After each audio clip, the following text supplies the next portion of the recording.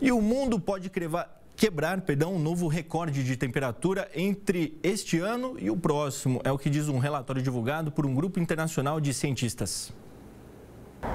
A pesquisa sugere que após três anos do padrão climático Laninha no Oceano Pacífico, que geralmente reduz as temperaturas globais, o mundo vai enfrentar o retorno do El Ninho o que deve fazer com que os termômetros voltem a registrar temperaturas mais altas.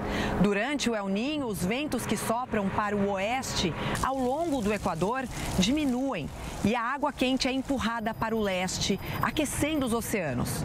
Os últimos oito anos foram os mais quentes já registrados, repetindo a tendência de aquecimento a longo prazo, impulsionada pelas emissões de gases do efeito estufa.